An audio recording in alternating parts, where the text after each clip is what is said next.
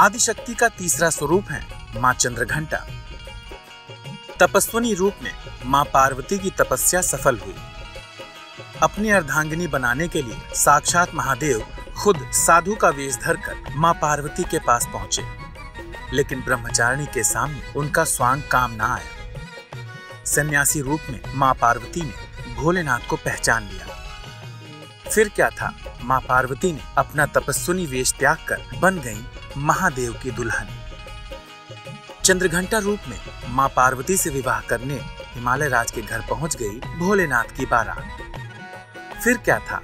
गाजे बाजे के साथ हुआ महामाया और महादेव का महामिलन। कहते हैं माँ चंद्रघंटा की आराधना से भक्तों का ये लोक ही नहीं, पर लोक भी सुधर जाता है।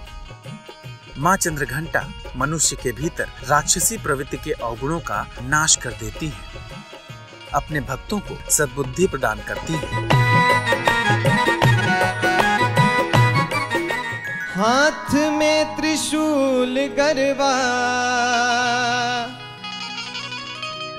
अरे सोनवा के हार, रूपवा मनवा मोहत बा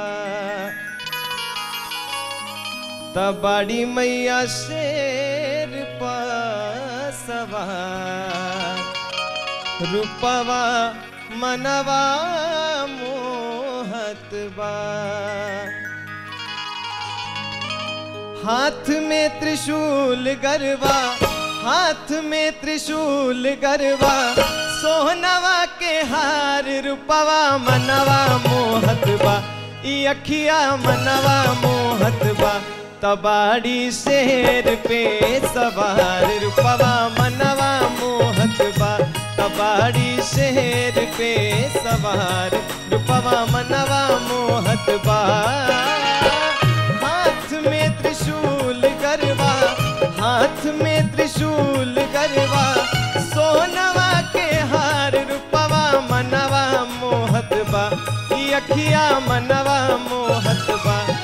तबाड़ी मैया शेर पे, सवार रूपवा मनवा मोहत बा। कबाड़ी मैया शेर पे, सवार रूपवा मनवा मोहत बा।